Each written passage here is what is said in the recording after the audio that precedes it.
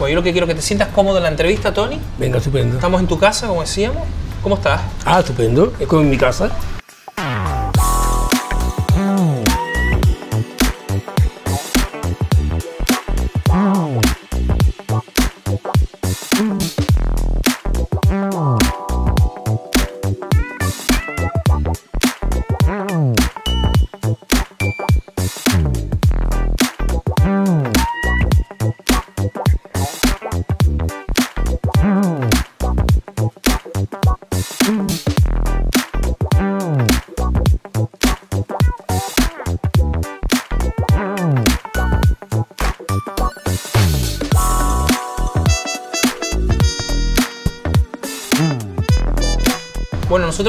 Con Tony Cañada, una persona muy conocida, no solo en el Carnaval de Santa Cruz de Tenerife, sino en, en la sociedad tinerfeña, una persona vinculada al mundo del diseño, del carnaval, de la moda, y conocida desde los años 80, y bueno, y que ha seguido en su bagaje, sobre todo como estilista y como profesional de la peluquería y el maquillaje.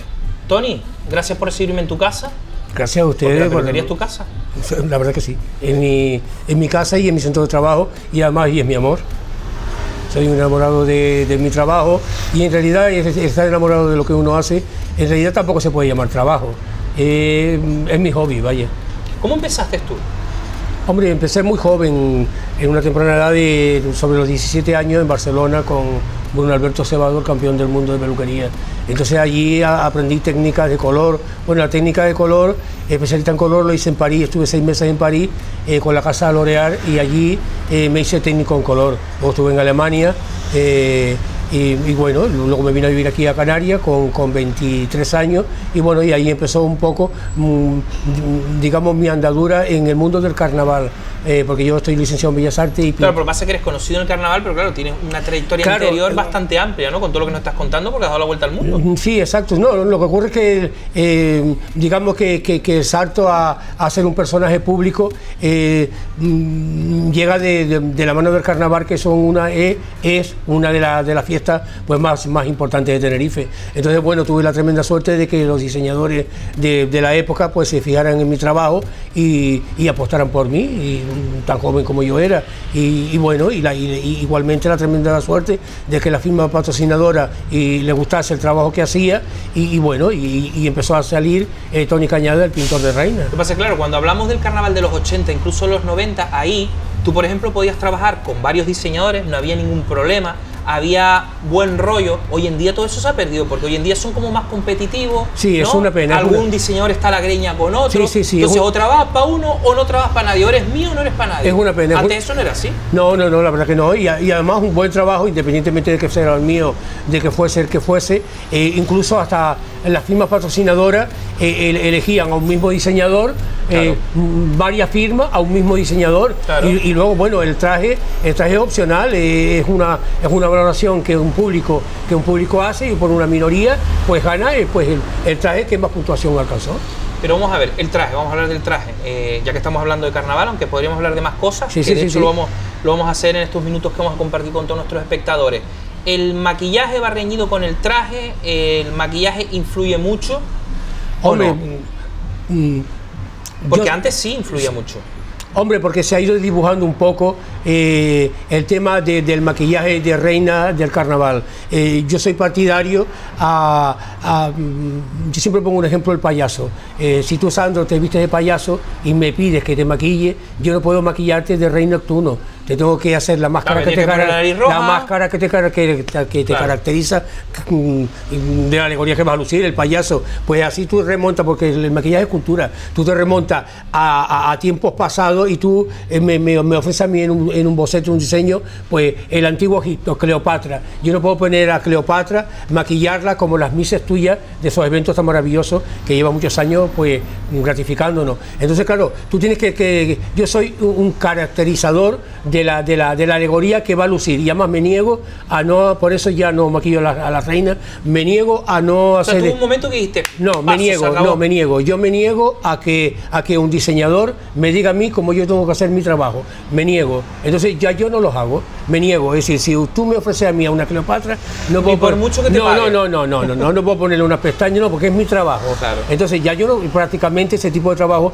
no lo hago Es por dinero, no lo, lo hago por neces- es que amor. no lo necesitas es que lo hago por ya. amor, ¿sabes? Que lo hago por amor. Claro. Y si tú me dices, Tony, da- trabájame a las niñas, no te voy a cobrar un duro, Sandro, decir que lo hago por amor, es decir, Pero por eso decíamos que lo que lo que se hacía antes, los 80, los 90, era muy diferente a lo que se hace ahora. lo que ocurre es que los, la- los trabajos que se hacían antes están, están tatuados en la retina, además para siempre, de, de, Bueno, aquel, de, aquel carnaval, de de aquel carnaval dorado que todos vivimos. sí. Entonces tú dices, eh, fulanita, no digo nombre, fulanita, tararita, te dice, ostras, está la reina que Sí. salió ahí, llevaba aquel maquillaje, llevaba, se, Y- lo, y lo se recordamos, nombraba, claro, y se lo nombraba el recordamos. trabajo, se lo, lo recordamos. Ahora pues fulanita, ¿y cómo iba? Pues son todas parecidas. Y, y Tienes maquillada, razón. pues son todas iguales. Además, Sí. es, el mismo patrón para todas. Sí. Es el mismo, el mismo corte, el mismo patrón. Me niego. Entonces hubo un momento que tú dijiste, ya no trabajo más. Sí, no, lo- ¿Tú bueno. trabajaste con qué diseñadores? Con mucho, bueno, trabajé con todos los de la época, con Justo Gutiérrez, con, pues con todos los de la época. Y además que no había ningún problema. Es decir, no había ningún problema. Aquí estaban las niñas. No estaban, está- no estaban tan picados como ahora. No, no, no, no, al contrario, una camaradería. Yo recuerdo como anécdota, además como anécdota, un diseñador del Puerto de la Cruz, que, tampoco me acuerdo el nombre que era, eh, o, o del Puerto de la Orotava, que, lo- que el calzado se le quedó pues ahí en los talleres del puerto. Y cuando salió una candidata, la candidata X, eh, la niña se quitó los zapatos y se los cedió a aquellas que se le quedaron en el taller. ¿Sabes? Eso es un, un, un toque de camaradería, de, de, de- de- compañerismo, de todo. Y además, y era muy curioso, porque cuando llegaba, eh, llegaba uno pues con todo el carromato decía, paso a la reina, era como muy, como eh, esa nota era como muy, paso a la reina, era mi reina. Y luego llegaba el otro, paso a la reina, paso a la reina. Y era como, era un, un grupo de amigos que lo pasábamos todos muy bien y ganaba, no la mejor, ganaba la que, la que el jurado eh, mm, veía conveniente. Para- Eh, eh, para eso los jurados, ¿no? Claro, eso es, una, eso es un acúmulo de puntos que usted da, que usted da, que todos damos y al final Y se, hay que suma- no, y se suma- decisiones del jurado hay que respetarlas. Porque yo estoy hasta las narices de oír a la gente. No, es que el jurado eh, no tenía ni idea, es que el jurado no se oiga, se han puesto jurados para algo. No, y la decisión del jurado, le No, gusta o no, hay que respetarlas, ¿no? Sí, pero también lo que ocurre es que eh, en, en un concurso de gala de reina del carnaval, ¿sabes? Por lo general va gente con mucho criterio, por lo que sobre todo en estos últimos años, porque bueno, ha habido una protesta un- unánime de, de, de, de- de- de empresas, porque también detrás de la reina del carnaval está la firma patrocinadora, que son, digamos, las que, las que aportan su Claro, dinero. pero no son las que colocan al jurado, ¿no? ¿Eh? No, no deben colocar al jurado. no deben colocar al jurado, ok. Entonces, pues, pues, mm, mm, vuelta otra vez a lo mismo. eh, mm, de cuatro o cinco años para, para, para acá, para, para, para este último año, eh, suelen ser gente con mucho criterio, licenciados en Bellas Artes, diseñadores, mm, gente que sabe, que sabe puntual, sabe que cuando yo veo a una niña no le veo las medidas, o sea, le veo muchísimas cosas más, hablo con ella, le veo un nivel Claro. cultural, de muchas, pues con el traje de Reina Carnaval ocurre, el limi- ocurre lo mismo. Y luego la belleza no está en los ojos del que mira, sino del, del que ve. A ti te puede gustar muchísimo Picasso y a mí nada, y a mí me encanta Dalí, además que me encanta. Para gustos colores. Claro, y luego lo que para ti eh, es, una, es una maravilla, eh, para el otro dice, pues no me gusta tanto. Claro, tú le puedes dar un 10 y yo le doy uno, pero luego la suma global, casi siempre, eh, casi siempre, la suma global, eh, es raro el que no. ¿Sabes? Yo, por ejemplo, que llevo tantos años vinculado con el tema del carnaval, cuando ya sale el bloque de todas las niñas, digo, estas son las cinco ganadoras. Y, y, y Además, están- por, con están- criterio, y ya, están. pero es normal. Estas son las cinco ganadoras. Y luego la reina siempre está, o es reina o primera dama, o no, o es reina porque ya tiene un, Pero en los últimos años, Tony, ¿tú crees que han pasado cosas un poco raras? Sí, yo que tú afirmo. hayas dicho, no, yo "Pero ¿y esto afirmo. es ahora? No, yo creo no, yo afirmo. Ah, lo afirmas. Yo Bien, afirmo. entonces. Claro, yo he estado yo he estado varias veces, yo he estado varias veces Sí, sí, de lo sé, jurado sé. en la gala de la reina Y del ahora Carnaval. hablamos con toda la gente que has compartido, con todos los famosos Oh, que tienen ahí en la pared. yo he estado varias veces en la gala de la Reina del Carnaval de Jurado y en honor a la verdad, la- eh, el- los años que a mí me ha tocado participar eran años atrás también. Eh, el último fue en el 2010, 2008 con la Loren, la Loren y luego en el 2010 volví otra vez eh, casi seguido a compartir pues cartel con, todo, con, con- con todos los invitados y en la gala de, de elección a reina. Y yo, bueno, la verdad, mm, ahí dentro mm, no veía nada, pero de esos años para detrás, mm, luego miembros del jurado, ¿sabes?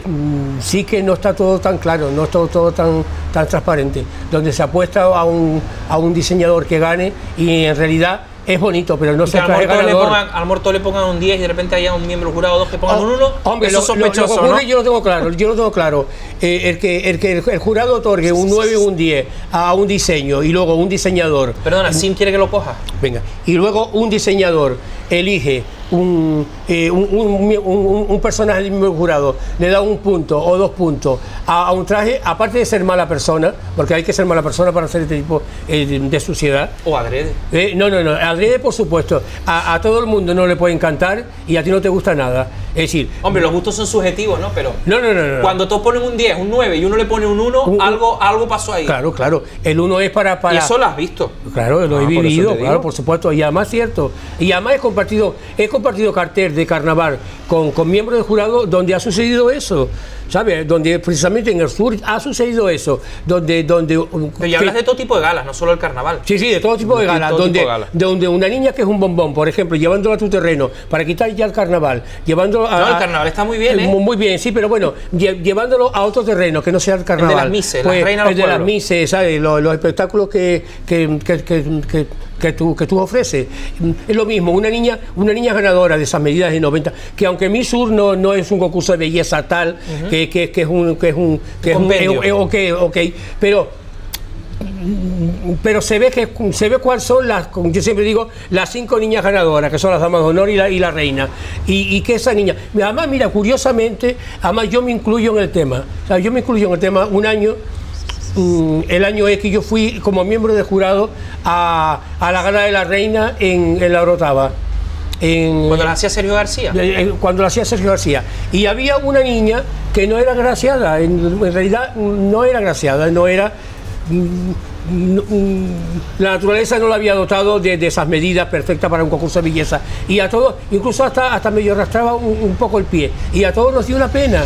¿Sabes? Una pena, la pena mía fue un 5, la pena del otro fue un 7, la pena del otro fue un 6. Pues la pena fue que ganó la Ganó. que ganó la niña. ¿Sabe? Arrastró pena, pero no ganó la belleza, ganó el- el- la parte emocional. Pero es que lamentablemente luego la niña ganadora, la niña ganadora no quedó ni dama.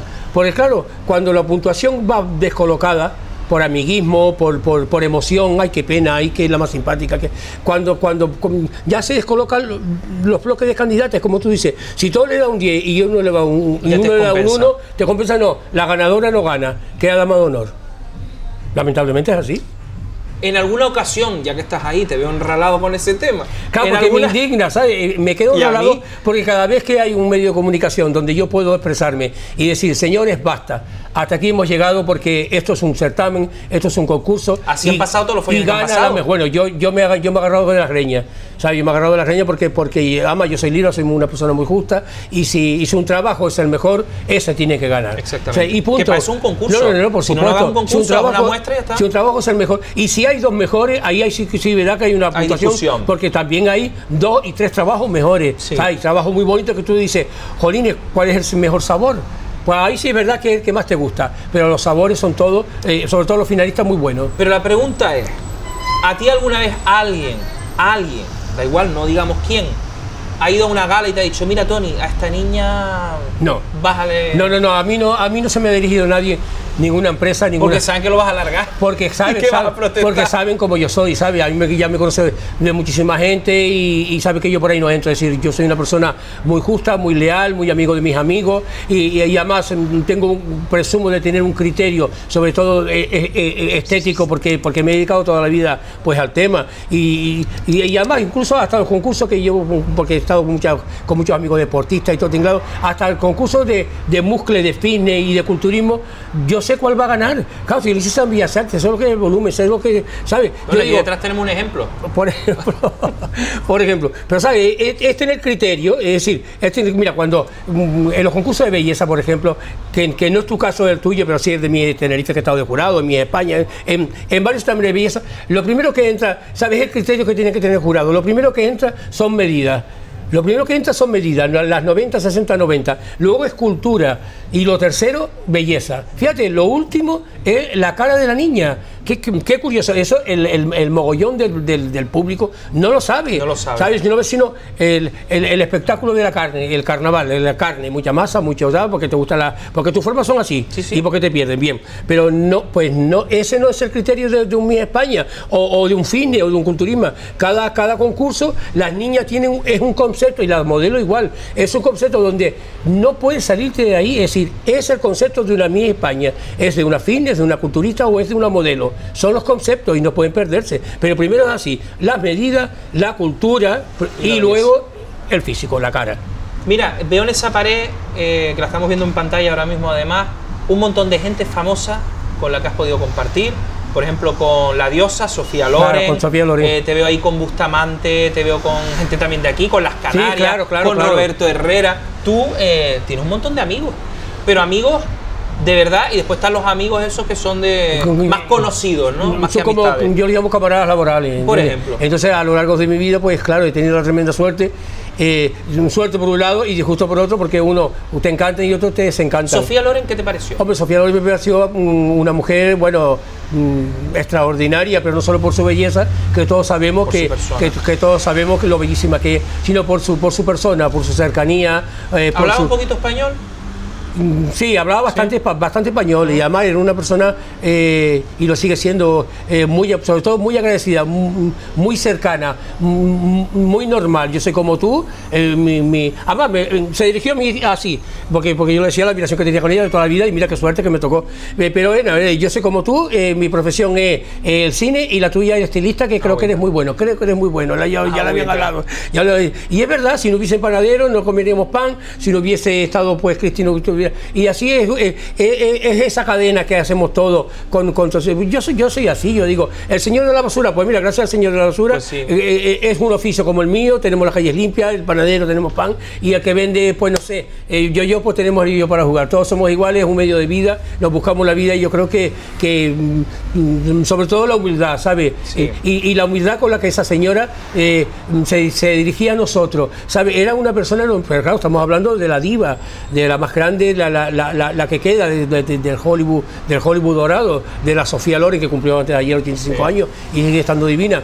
Me pareció incluso hasta mm, e- esa, es- esa picardía, esa picardía que uno tiene, sabe de que esta mujer no puede, no puede ser natural, tiene que estar apuntalada. Y en esa fotografía yo la agarré por la cintura, ¿Ah, sí? ¿sabes? Porque claro, nosotros los estilistas sabemos los trucos que hay debajo de un traje, ¿sabes? La- la- las transformaciones de los, de los concursos de los gays, de, de mi gay, hay unas transformaciones espantosas donde van con le bañera. tocaste la van- cintura la a- agarré, no, la agarró por la cintura, pero escúchame, mm, ni se inmutó, es una, ¿No? no, una persona como, pues, como puede ser crítico, como puede, no, bien, además yo los tengo agarrados los dos por la cintura, Gerard de Pardilla y el Sofía Pero es que cuando El yo... culo no se lo tocaste. No, no, no, la, Ah, la digo, cintura, la cintura a ver si había truco. Efectivamente, era una ¿En mujer joven, una mujer joven, es decir, tú me agarras por la cintura y tú ves aquí una chiquita y ves una cosa. Claro. O a Cristina, porque es una niña de 19 años, pero, pero la Sofía Loren, cuando yo la cogí por la cintura, dije, jolín, chapó, porque era una mujer eh, transparente, natural, bellísima, siempre lo ha sido, pero sobre todo la juventud, la juventud que tenía. Más gente. Y Gerard Depardieu. Hombre, Gerard Depardieu mm, mm, Más eh, frío, quizá, No, ¿no? no, no, delante, ¿No? delante de las cámaras es una persona que, que- que, bueno, que, que me impresionaba, pero luego mm, de, del tú a tú mm, pierde los papeles, ¿sabes? Un hombre que bebe mucho, eh, que acabó prácticamente borracho y, y a mí el, mm, perder la postura, perder el mm, como que no me gusta, ¿sabes? Yo tengo, yo soy una persona que con- yo controlo todo, mm, mm, yo sentido ridículo lo tengo muy agudizado, donde si yo, yo tengo que decir un, un- un carajo, donde, donde no hay que decirlo, luego me arrepiento un montón. Pues entonces yo no bebo de la- públicamente, eh, mi comportamiento es muy... O sea, se le fue la pinza al hombre. Sí, mucho, mucho. Yo mido mucho todo, ¿sabes? Todo, ¿sabes? Incluso ahora que estoy aquí hablando contigo, lo tengo Hombre, todo... aquí está- aquí estás en tu no, casa, No, no, no, pero, tú. pero lo mido, ¿sabes? Mido la conversación, mido lo que digo. No sé, son, yo soy muy perfeccionista, e intento cada día mejorarme, intento cada día superarme, eh, me exijo muchísimo. Yo me levanto a las 6 de la mañana y estoy en el gimnasio Imagen entrenando. Yo estoy entrenando. ¿Estás en el Imagen entrenando? En el Imagen con Juan, entrenando a las 7 de la mañana cada día, imagínate. para la peluquería? ¿Tú sabes qué edad tengo yo? Cumplo Te lo iba a 18 preguntar. Sí, pues cumplo el 18 de octubre, 64 años, nací en el 56. Es Madre. decir, soy una persona que, que mi vida, además, mm, incluso hasta Gladys que me conoce dice, Tony, mira que... Yo antes le pregunté a Cristina si me decía tu edad Sí, y sí, me dijo que no, sí, que yo- no está autorizada para No, darla. no, yo te lo digo. Además, yo soy una persona muy disciplinaria. ¿Sabes? Donde yo me levanto cada día y digo, a las 7 tengo que estar en el gimnasio, a las, a las 8 y media tengo que estar duchado, a las 9 estoy en la peluquería, a las 4 atiendo a la última del público. O sea, eres muy perfeccionista. Eh, sí, sí, sí, no, y disciplinado. Tengo que estar en diseño digital, que también lo hice, tengo que estar en el curso que, estoy, que hago ahora para, en, en plástica. ¿Y siempre fuiste así de joven? Siempre. Sí, toda la vida. Es decir, yo cuando. Yo empecé la peluquería a los 17 años, a los 18 yo era campeón de España. Que ya en Escúchame, esa época es cuando empezaste a viajar. Un, un año más tarde. Cámbate. Pero claro, un año más tarde. Si yo digo, a ver, eh, además, de verdad, mm, Sandro, soy así. Este señor, o tú, lo veo que pone un suelo tan bonito de albañilería. Digo, ay, mm, si él sabe, porque yo no. Y me pongo, y rompo caja. Pero al final el azulejo lo, lo coloco bien. Pero hoy en, día, así. hoy en día lo que falla en mucha gente es la disciplina. Últimamente no hay tanta disciplina. Hombre, cuando no hay disciplina, el, el- el igual, el final es el fracaso. Eh, eh, últimamente hay tantísimos fracasos, desde escolares Mm. hasta personales, hasta laborales, es porque no hay disciplina, no hay un horario, no, hay, no, hay, no hay una forma de trabajar. Cuando tú no tienes una disciplina en lo que haces, en una dieta, ¿para qué estás tú tres meses a dieta si luego te Sí, vas a pues poner, la cargas. y luego tú te vas a poner como una vaca a comer? Entonces, qué, qué absurdo, porque eso Sí. origina un rebote y es que no somos disciplinados ni con nosotros mismos. Ah, bueno, decir. cuando, cuando no eres dis- disciplinado no puedes alcanzar una meta. O eh, mm, bueno, que, está bien, todo va en función, todo está bien, todo va en función de lo que tú estás buscando. A ver, que tú que estás buscando eh, bajar 10 kilos y, y tener una mejor forma, pues eh, eh, este es el camino. Eh, si lo estás buscando y si no, pues bueno, no pasa nada. Es decir, hay señores que están muy felices haciendo lo que hacen, hay señores que no hacen nada y son muy felices. Tú dices, ¿cómo puede? Ay, ¿cómo puede estar trabajando todo el día? Pues son felices y se van a la playa. Y, A ver, ¿quién está equivocado? A ver, ¿quién? Yo. Cada persona, como Eh, es un mundo. A ver, ¿quién está equivocado? Claro. ¿Cuál es el mejor sabor? ¿La vainilla o la fresa? El que más te gusta. A ver, ¿qué mejor? ¿El rojo o el azul? Son colores distintos de tonalidad. Eh, eh, eh, va en función de lo que te haga feliz, cada uno que haga lo que lo hace feliz. A mí me hace feliz ser como soy, e intento cada día superarme, mejorarme y sobre todo ser mejor persona. Seguimos viendo más fotos de, ese, de, ese, de esos cuadros que tenemos ahí en la pared. Por ejemplo, eh, se me ocurre Roberto Herrera. Ah, Roberto Herrera es uno de los grandes, quizás sea el más grande de los presentadores que tenemos nosotros aquí. Eh, como profesional es un monstruo, eso está sobrado.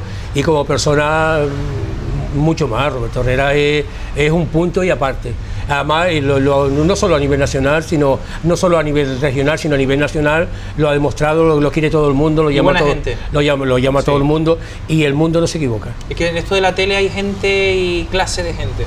Hombre, este, No todos son buena gente. No, no, no, este, este, este personaje público es grande, pero con letras grandes, muy grande además, todos lo conocemos.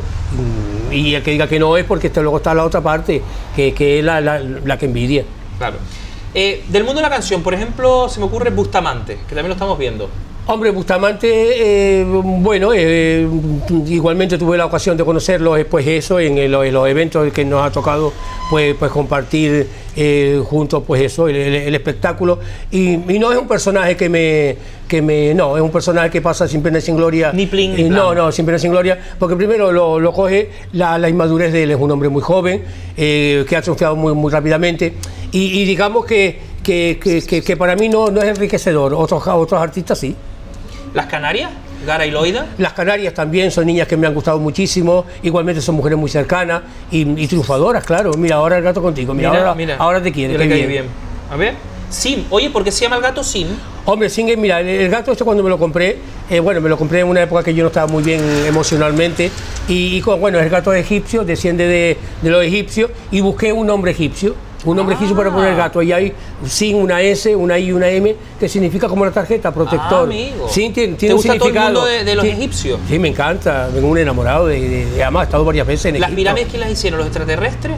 No, ¿O la- realmente la hicieron los egipcios? No, la, no, las pirámides lo hicieron los egipcios. Lo que ocurre es que en, en las antiguas civilizaciones tenían la, la mala fe de la envidia, la mala fe de que pueblo que conquistaba un pueblo lo destruía, lo quemaba. En vez, era lo que te decía, que en vez de enriquecerte Claro. día a día con lo tuyo y con lo que, lo que los demás te aportan, al contrario, cuando, cuando conquistaban un pueblo lo que hacían era arrasar.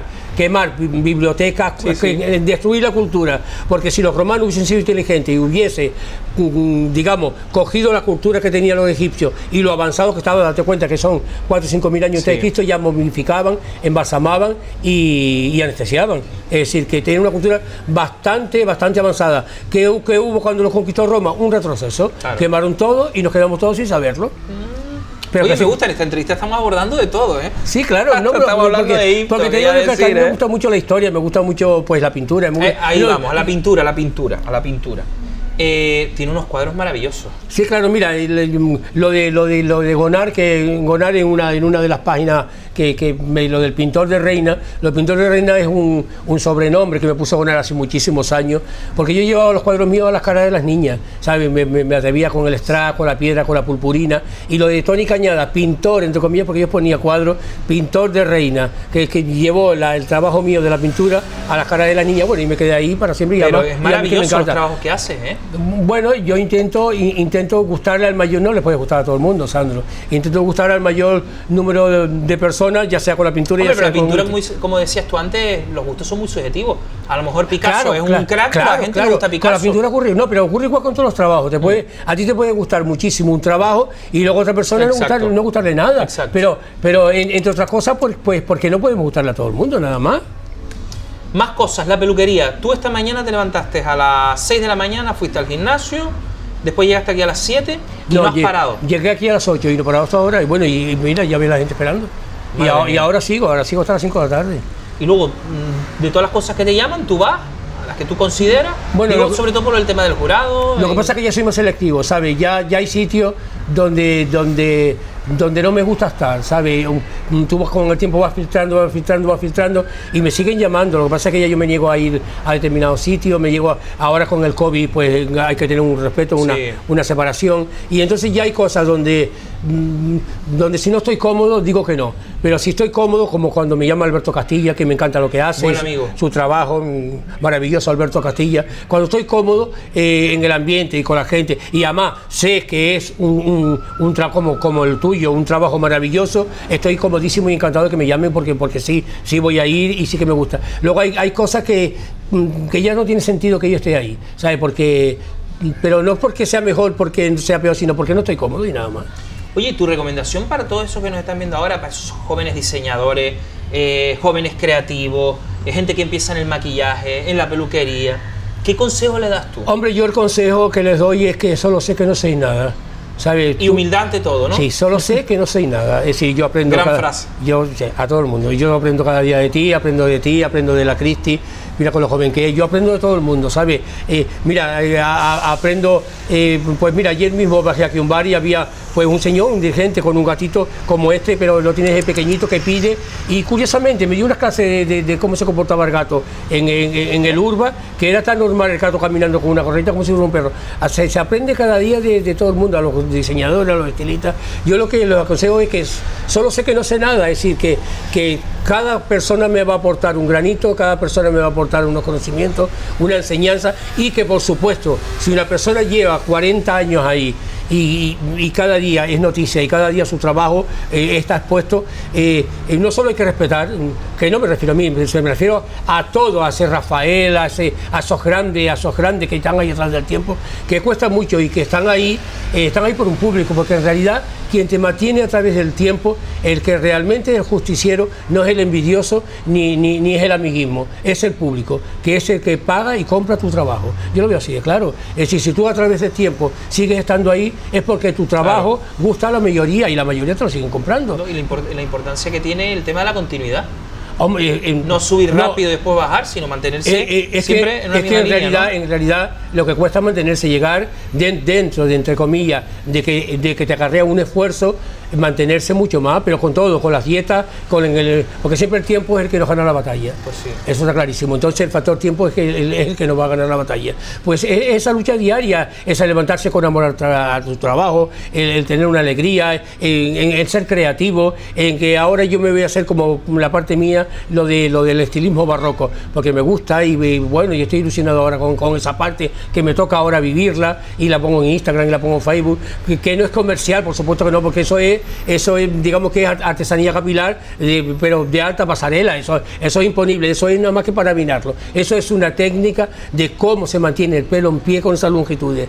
Pues claro, pues tiene, tiene una técnica, tiene una base y que hay que aprenderla, claro. Es como cómo se mantiene un rascacielos con tantísimos metros, con tanto peso y no se cae. Pues claro, tiene una técnica, porque si en el rascacielos eh, mm, mm, mm, media milicra, media milicra en la base media, que eso ni se ve, no está calculado, el rascacielos cuando termina está torcido.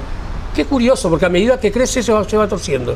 Como la Torre Pisa, Lo mismo, torcida, bueno, porque pero, eso por el peso, debajo. pero eso por el peso, Exacto. eso por la humedad. Pero que, que, pues, con todo ocurre igual. eh, y, y sobre todo... eh, O sea, veremos a Cristina con ese pelo para arriba, ¿no? Sí, bueno, ya, ya la hemos visto en las redes sociales, con el moño barroco, ella fue la primera y va a ser la última, la que cierre, con la Cleopatra, ella va a ser la Cleopatra. Sí, pues fíjate. Oye, con el pelo negro, claro. Y, y la influencia que ha tenido, evidentemente, el mundo del cine. Y que a ti te encantarán todas esas películas de, Sí, no, de mira. egipcio, de los romanos. Sí, de no, mira, y, películas también- y- históricas. y además yo también he tenido la tremenda suerte de, de igualmente contactar conmigo la, una de las primeras eh, producciones aquí en Canarias, que era lo de Yaisa Borges. ¿Ah, sí? Sí, claro, con ellos hice yo siete cortometrajes y dos largometrajes bajo la noche verde y, y luego se me escapó Guarapo. Guarapo, peliculón de los claro, hermanos. Guara- Guarapo, claro, nosotros, nosotros tenemos la Guarapo fea, es la nosotros tenemos ¿eh? la fea manía, no, nosotros tenemos la fea manía, los españoles y los canarios también. La fea manía es que cuando, cuando cobras poco y, y- y es a beneficio o es gratis. Es que es malo. No, mm, te llaman. Y luego, cuando hay superproducciones, que hay dinero para pagar, llaman a extranjeros. Qué Mm, bonito. Claro, claro, a mí eso me cabrea mucho. Sí, y eso pongo- pasa mucho en Canarias. Sí, a mí eso me cabrea mucho y lo pongo todo a cardopota. Y entonces, y, claro, lo pongo a cardopota y entonces cuando me dice, uff, aquí viene Tony echando chispa y no va a poner a cardopota. Y lo digo en todos los medios de comunicación y lo digo a todo Kiski. Sí, pues igualmente hice cine con ellos, de los siete cortos y los largometrajes, eh, anuncio con los hermanos Ríos muchísimo, he trabajado en casi todo, en casi todo lo que, lo que, lo que mi trabajo concierne. Eh, más maquillaje, más peluquería, más estilismo, de todo un poco. Hombre, lo que ocurre es que cuando te dedicas profesionalmente a un trabajo que lo ama, eh, está, claro, está la parte económica, es decir, de qué vas a vivir. Entonces, en, en realidad, En este la, caso, la peluquería, entonces. sí, la peluquería y el maquillaje, y, y incluso hasta la pintura. Es decir, tú al final, dentro de lo que a ti te, te engloba, dentro de lo que tú eres capaz de hacer y eres capaz de, de crear, eh, no te queda otro remedio que meter en el saco lo que la gente te va a comprar porque te hace falta el dinero. Entonces lo que la gente me compra es la peluquería comercial, el maquillaje comercial. ¿Sabes? El- el- pues esa señora que viene y se peina. Eso te va de maravilla, no lo siguiente. Sí, claro, eso veo, claro, pero como, como la otra parte, la artística, digamos, que es puntual, es, Tony Cañada es conocido en el carnaval de Santa Cruz Tenerife, pero claro, o, o en la, o en las islas o incluso a nivel nacional. Pero claro, es que Tony Cañada solamente tiene el carnaval o tuvo el carnaval de Santa Cruz Tenerife una vez al año. Claro. Y Tony Cañada son los 364 años Claro. durante 40 años que llevo en esta rambla y es un trabajo diario de, de vender a un público y dedicarte a un público. Carnaval es una ocasión, tu certamen es otra ocasión al año, o dos, Señor. norte-sur. Entonces es el día a día, pues como tú, como todo, como todo, todo el mundo que trabaja. Pues nada, pues vengo la próxima semana, cógeme cita, voy a hacerme unas mechitas. Ah, encantado de la vida. ¿Eh? ¿Qué te parece? Ah, estupendo, estupendo. me pongo en tus te va a manos. rejuvenecer, claro, te va a rejuvenecer y te va a dar un look eh, más moderno. Tony, gracias. Gracias a ustedes, un besito, buenas tardes.